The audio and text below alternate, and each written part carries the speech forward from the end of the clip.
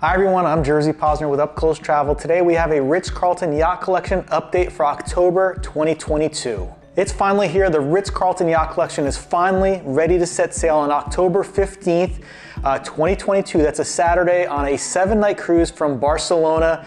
A long three year wait, but it's finally here. The Ritz will sail in the Mediterranean. You'll have four sailings followed by a transatlantic from Lisbon on November 5th to the Caribbean.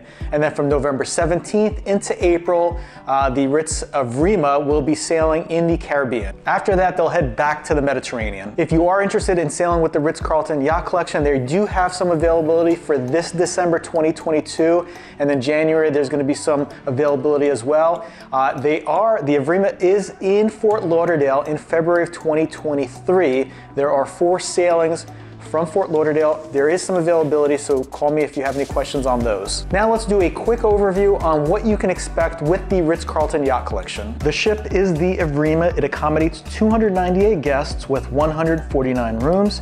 246 crew members to give you one of the best crew to guest ratios on the waters.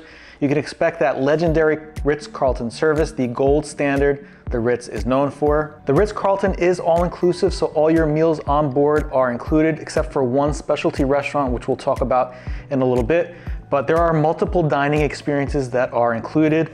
Beverages in suite and throughout the yacht included, onboard gratuities, Wi-Fi throughout the ship, onboard activities and entertainment, the luxury all-suite accommodations, and a personal concierge. Here are some dining options. There's plenty to choose from as you can see. There is a restaurant on board called S.E.A and it's by Sven Elverfeld, who's a Michelin starred chef.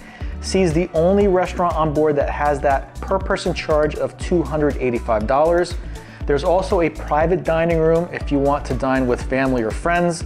I have a video on dining options and I'll link that here and I'll put the uh, link in the description below as well. Lots of entertainment on board. The Evrima will have its own resident jazz and classical musicians and local entertainers will come on board on select ports. The observation terrace on top is a social hub. Sip cocktails by day and enjoy live entertainment by evening. These suites are beautiful. Here's a look at some of the options here. It's like a floating Ritz-Carlton hotel the highest percentage of larger suites in luxury cruising.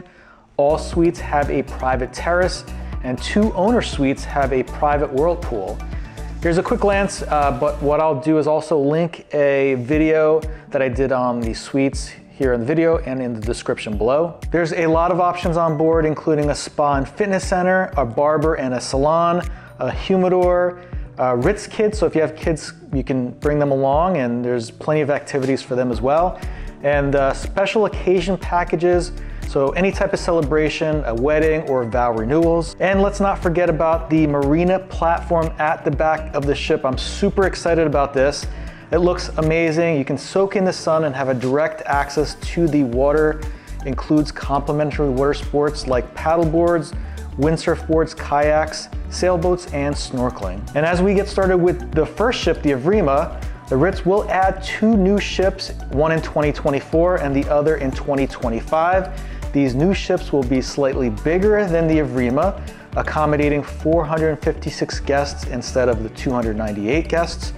Uh, the names will be the Ilma and the Luminara. As news comes out on these new ships, I'll keep you guys updated. As always, thank you so much for watching. I really appreciate it. If you like this video, hit the like button and subscribe if you're not subscribed.